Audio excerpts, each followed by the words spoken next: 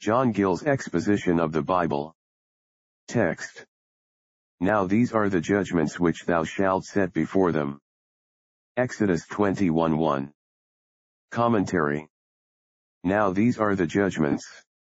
The judicial laws respecting the civil state of the people of Israel, so called because they are founded on justice and equity, and are according to the judgment of God, whose judgment is according to truth, and because they are such by which the commonwealth of Israel was to be judged or governed, and were to be the rule of their conduct to one another, and a rule of judgment to their judges in the execution of judgment and justice among them.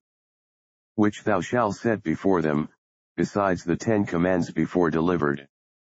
They were spoken by God himself in the hearing of the people, these were delivered to Moses after he went up to the mount again, at the request of the people, to be their mediator, to be by him set before them as the rule of their behavior, and to enjoin them the observance of them, in order to which he was not only to rehearse them, but to write them out,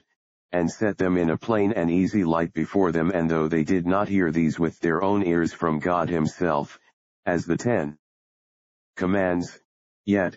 as they had the utmost reason to believe they came from him, and it was at their own request that he, and not God, might speak unto them what was further to be said, with a promise they would obey it, as if they had immediately heard it from him, it became them to receive these laws as of God, and yield a cheerful obedience to them, nor do we find they ever questioned the authority of them, and as their government was a theocracy, and God was more immediately their king than he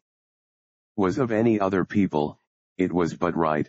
and what might be expected, that they should have their civil laws from him, and which was their privilege, and gave them the preference to all other nations. Deuteronomy 4 5-8.